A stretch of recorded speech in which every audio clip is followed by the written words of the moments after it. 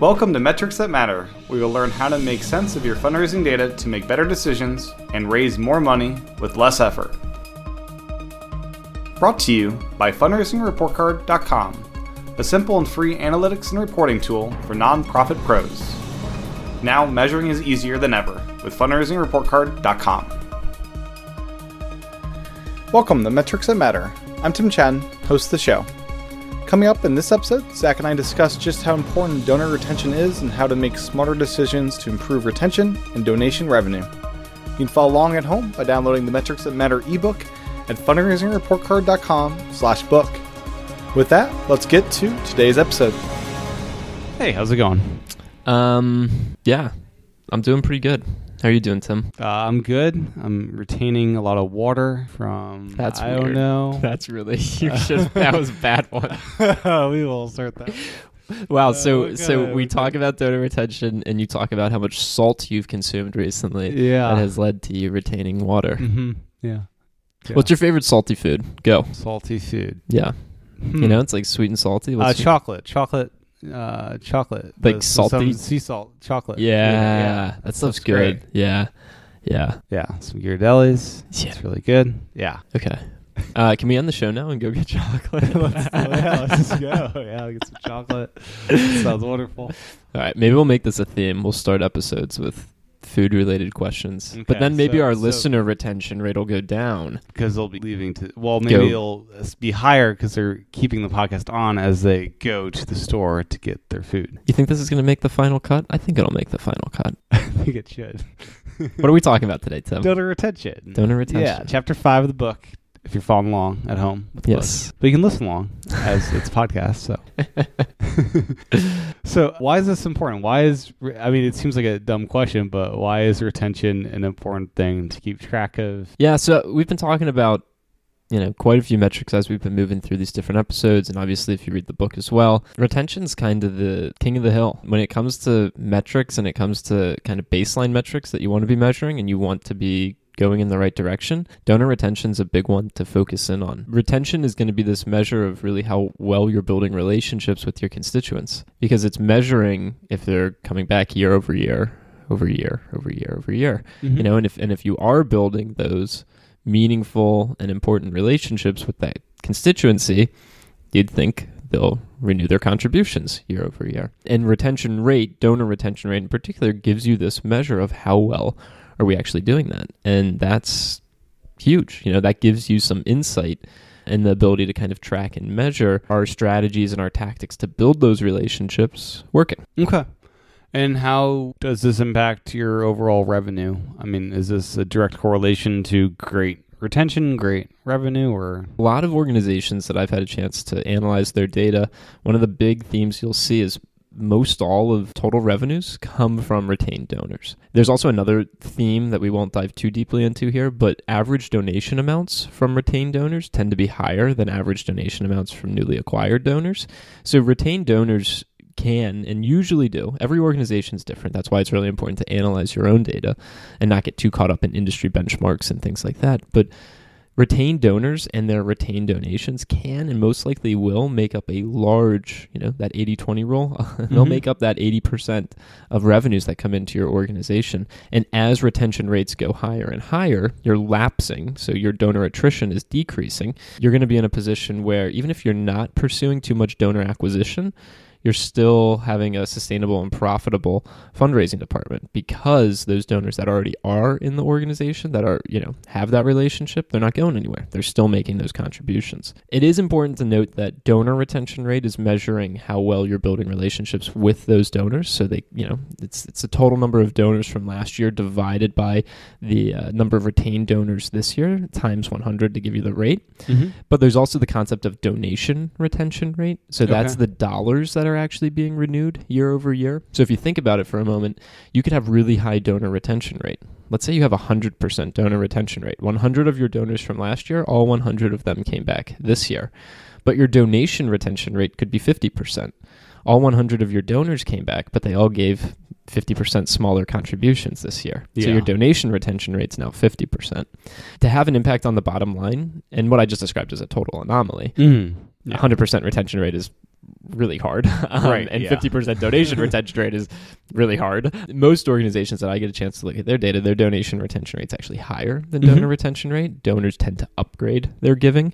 Is that because in the first couple of years they may be testing out your organization almost? That could be part of it. I try and take a step back from necessarily like why all this is happening and I generally leave that to the nonprofit Yeah. staff or the consultant, but I think that could be part of it. Mm-hmm. you know but you definitely see you, i look at so many organizations data you know donor retention rate will be 42% and then donation retention rate will be 61% and then you know they're like well why is that one so much higher it's like because the donors that are sticking around are, are giving more year over year it's a beautiful thing so to answer your question maybe this is my style long-winded Mhm. uh, to answer your question, yeah, retention can and should have a major impact on the bottom line, and retention can and should make up a significant portion of total revenues that the organization receives each year. Okay.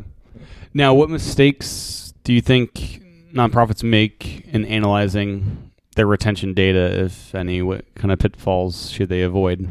So the first one is not measuring it, um, Mhm. and I don't want to say it's a mistake, but it, it can be a circumstance of you know the myriad responsibilities that are being juggled. But not measuring donor retention rate or donation retention rate. But let's focus on donor.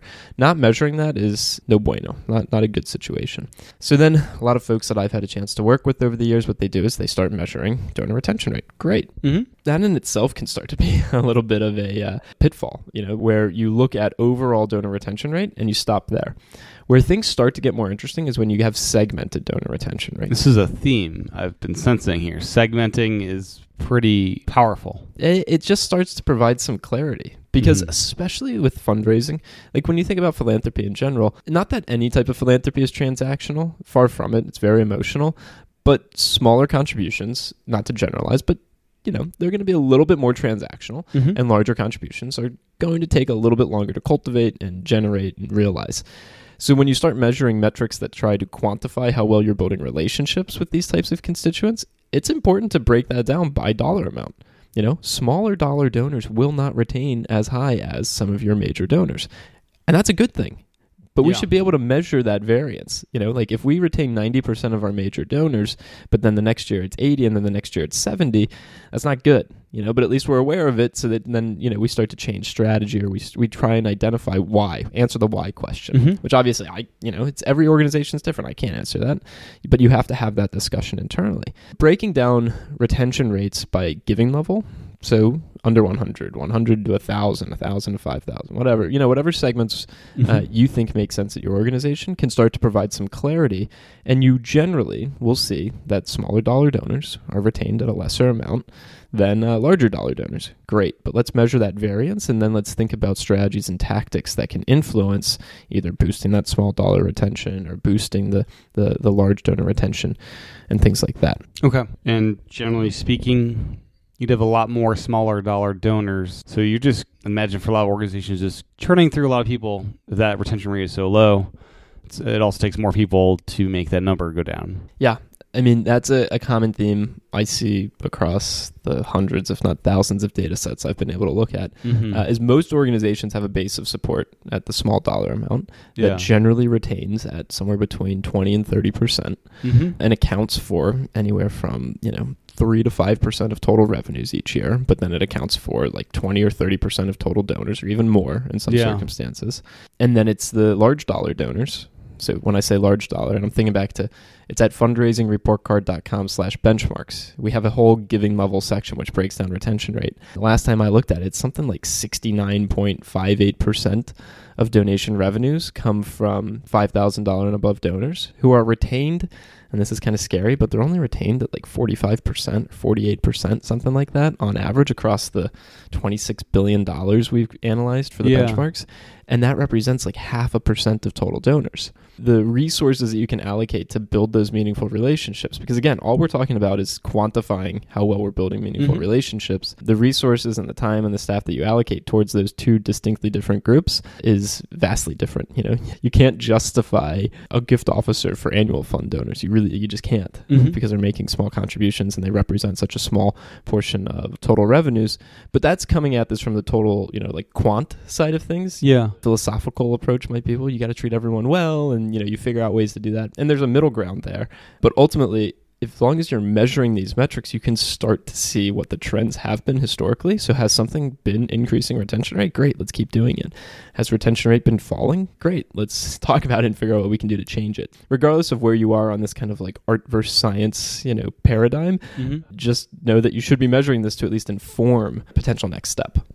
It seems that 12 month cycle may not be the best cycle for m- many organizations. What about an 18th month cycle? What factors should a nonprofit look into when deciding what standard to choose for their organization? I don't know if it's not the best or not the worst. Like it, it comes down to an you know per organization basis. I think there's value in looking at both retention and attrition. So lapse donors on a 12 month cycle and on an 18 month cycle. Mhm. I've even seen organizations and I've had conversations over the phone where people have been like, "We don't consider a lapse donor until they've lapsed over 24 months."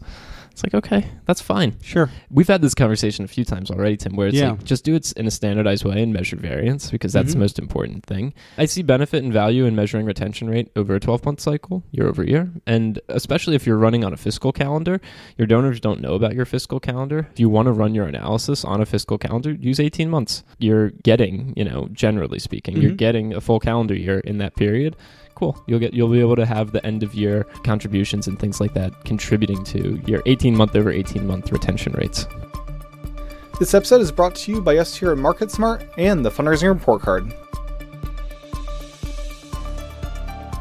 What is the Fundraising Report Card? Well, it's a free service offered at fundraisingreportcard.com that enhances your fundraising efforts with easy to use analytics and charts.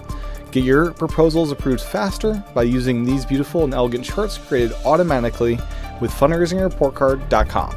You'll also find a great blog that dives deep into what data means for your organization and how you can use it effectively to make smarter decisions. Start learning and start generating beautiful charts by going to fundraisingreportcard.com. Now back to metrics that matter. For building relationships with donors, that seems to be what retention rate's all about. What things should you know nonprofits be looking into as they dig into their numbers and to try to improve this this number? So, I think I wrote a blog post about this a while back, but one of the ways that you should also segment retention rate that will kind of inform this conversation is yes, giving levels great, but also by type of donor. And what I mean by that is you have your overall donor retention rate, let's say it's Mhm. 50%.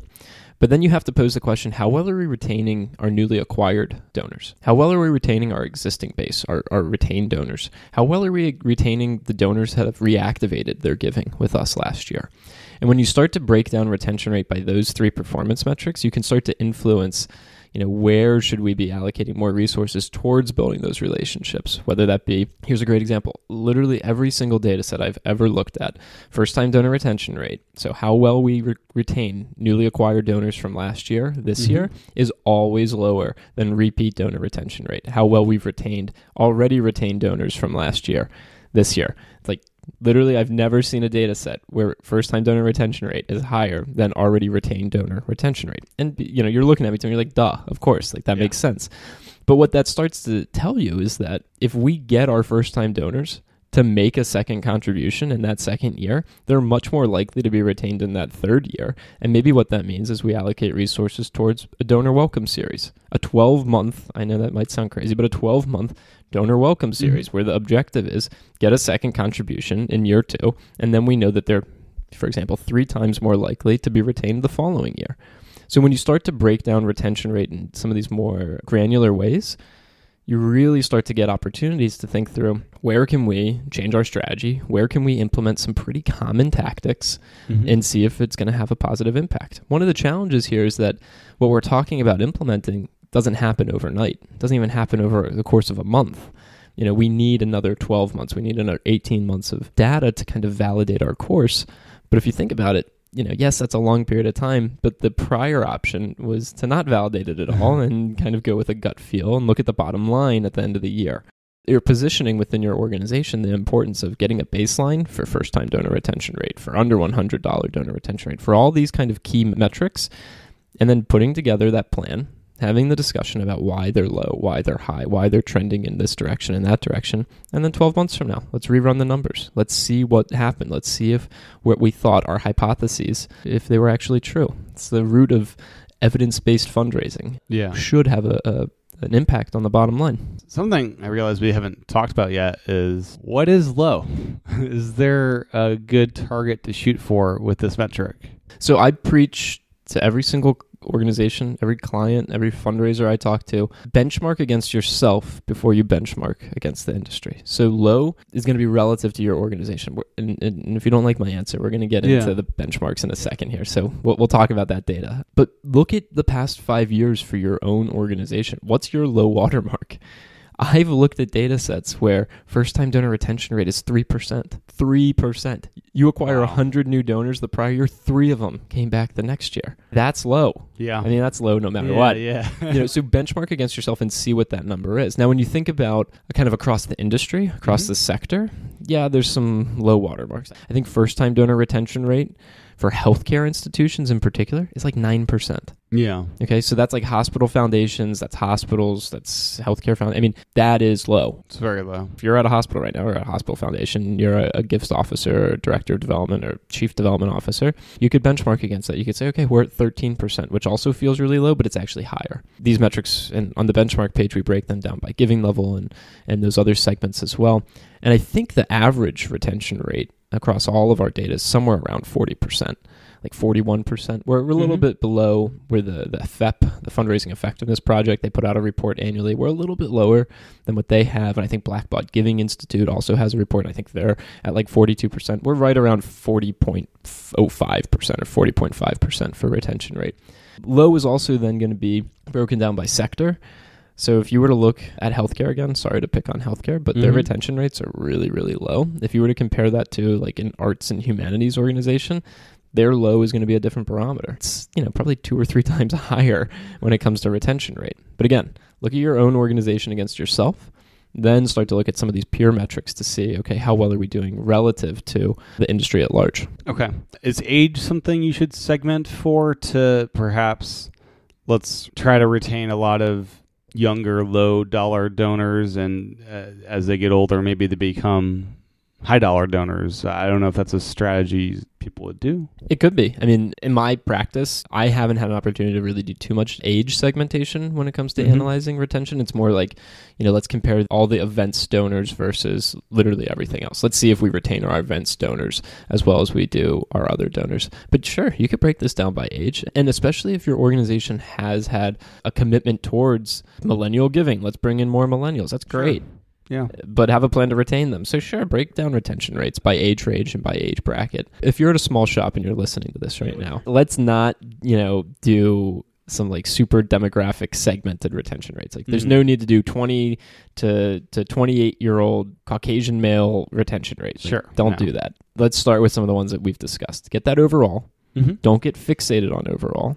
Look at giving level segmentation. Make sure that you are retaining your high dollar donors at a higher retention rate than some of the other segments.